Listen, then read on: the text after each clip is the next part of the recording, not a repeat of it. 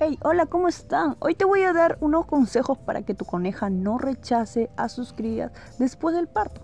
Mi nombre es Diana y pues si eres nuevo o nuevo, te invito a suscribirte a nuestro canal Mi Mascotas. Ahora sí, sin nada más que decirte, vamos a comenzar a dar unos consejitos, pero antes, antes de eso, voy a recordarte que tenemos página de Facebook, la cual nos puede buscar como Mi Mascotas, donde encontrarás la foto de perfil igual que el YouTube. Puedes encontrar madrigueras, jaulitas, casitas para perros, camitas. Si eres de Perú, solamente tienes que contactarnos a nuestro número 970-816-752. Ahora sí te voy a seguir dando los consejos ideales para que tu coneja no rechace a ninguna cría. Lo primero que tienes que tener es una jaula para tu coneja amplia y una madriguera que no le debe faltar a tu coneja, ¿ya? Una madriguera y una jaula amplia. ¿Por qué? Porque las conejas se estresan rápido. Aparte de ello, tienes que separarlo el macho con la hembra. No puedes tener una coneja embarazada o una coneja con sus crías junto con el macho. ¿Por qué? Porque los machos están pise y pise a cada rato y la coneja se estresa. Y cuando se estresa, la coneja comienza a morder a sus crías, puede comerlas. Es por eso que mejor las tengas separadas. ¿Ya? Su coneja con sus crías. Y otro consejo que te voy a dar, y es muy importante, que no le manipules tus conejitos recién nacidos a cada rato.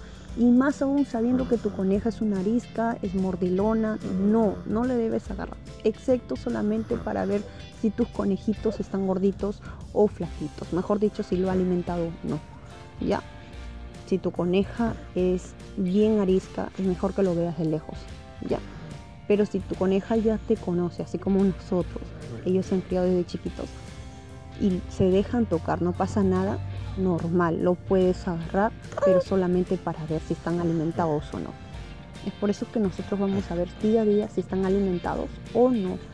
Solamente una sola vez lo veo al día. Y mira cómo están gorditos ellos. Se ven gorditos por la barriguita cuando están hinchaditos y yo le doy permiso a mi conejita para agarrar sus crías tocándolo a ella, para no dejar más que todo el olor, mi olor a ellos. Es importante que lo agarres primero a tu coneja, sobándole la pancita, la cabecita, para que no dejes el olor, sobre todo.